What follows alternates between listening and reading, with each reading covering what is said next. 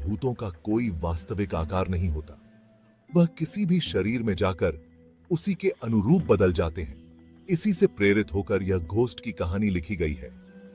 भूतिया कहानी पढ़ने में रोमांचक होती है और ऐसी ही रोमांचक कहानी है।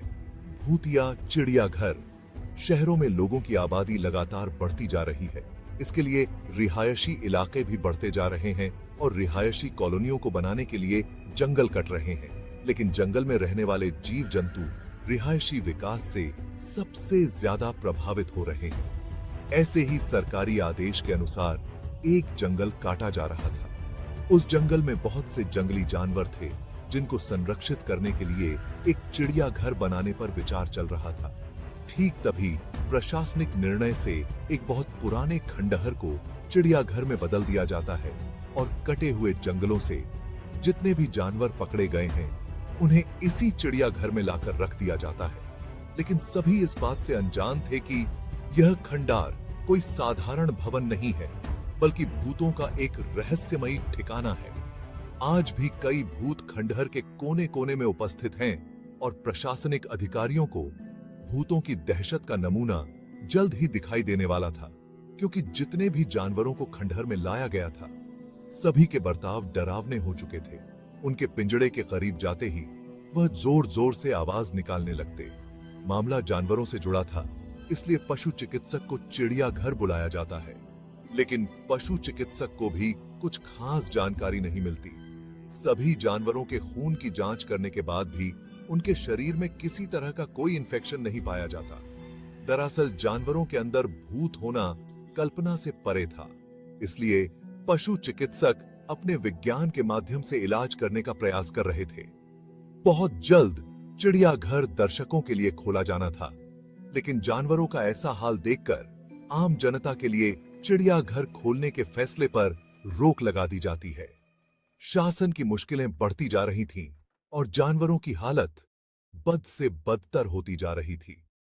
उन्हें एहसास होने लगा था कि जानवरों के जंगल को काटकर शायद हमने बहुत बड़ी गलती की है। चिड़ियाघर के अंदर भालू, हाथी, शेर, सांप और कई तरह के पक्षी रह रहे थे।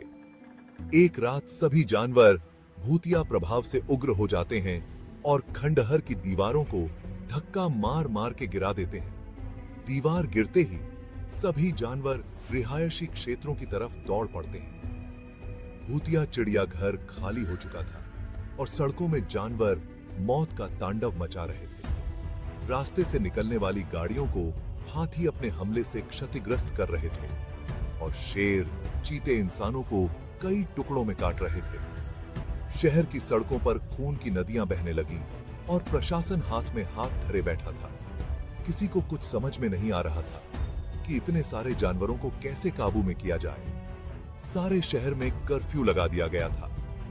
सभी को लग रहा था कि जंगली जानवर अचानक जंगलों के कटने से पागल हो चुके हैं, इसलिए इतना नरसंहार कर रहे हैं। किसी भी कानून में इंसानों की जान को प्राथमिकता दी जाती है, इसलिए जंगली जानवरों को मारने के आदेश जारी कर दिए जाते हैं और आदमखोर जानवरों को हेलीकॉप्टर की मदद से ट्रैक किया जाने लगता है। शहर के चारों तरफ़ मौत मंडरा रही थी। जानवर अब कॉलोनियों में घुसकर लोगों के घर तोड़ने लगे। जानवरों की दहशत से कोई पहाड़ में भाग रहा था तो कोई पेड़ में चढ़ रहा था। सब कहीं ना कहीं अपनी जान बचाने में लगे हुए थे। सारे शहर में आर्मी तैनात कर दी जाती है और आर्मी टैंक रोड पर जानवरों को ढूंढ ढूंढ कर मार रहे होते हैं। लेकिन जानवरों के अंदर भूत सवार थे, इसलिए वह बेखौफ होकर आर्मी के टैंकों की धज्जियाँ उड़ा देते हैं। हाथी अपनी जोरदार टक्कर से कई टैंकों को धराशायी कर देते हैं। जानवर किसी के कंट्रोल में नहीं आ रहे थे। तभी अचानक ऊपर उड़ रहे हेलीकॉप्टर पर एक विशाल कायबाज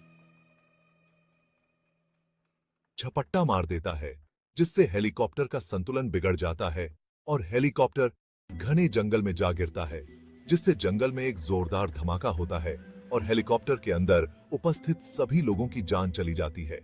भूतिया जानवरों ने आतंक मचा दिया था, लेकिन इसके लिए जिम्मेदार हम लोग थे। जिन्होंने उनके जंगलों को अपने फ़ायदे के लिए कटने दिया और जंगली जानवरों को मजबूरी में उस भूतिया चिड़िया घर में आकर रहना पड़ा। आर्मी की गोली से अचानक एक शेर मर जाता है, जिसे उठाकर अनुसंधान केंद्र लाया जाता है, ताकि उसकी जाँच से पता लगाया जा सके है कि सभी जानवर किस वजह से ऐसा बर्ताव कर रहे हैं। सभी परीक्षणों की रिपोर्ट आने के बाद वैज्ञानिकों को पता चलता है कि जानवरों के मानसिक हार्मोनल परिवर्तन हुए हैं। और यह बदलाव कुछ समय पहले ही हुए हैं। लेकिन ऐसा क्यों हुआ? और जानवर ऐसा किस वजह से कर रहे थे? इसका पता खंडहर के अंदर ही चल सकता था। वैज्ञानिकों को खंडहर में कुछ संदेह उत्पन्न होता है।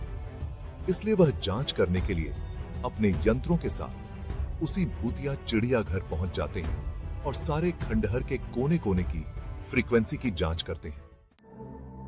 तब उन्हें अपने डिवाइस पर आत्माओं के होने के संकेत दिखाई देते हैं। वैज्ञानिकों को पता चल जाता है कि सभी जानवरों के शरीर को भूत प्रेतों ने कब्जा कर लिया है और अब भूत ही शहर में आतंक मचा रहे हैं।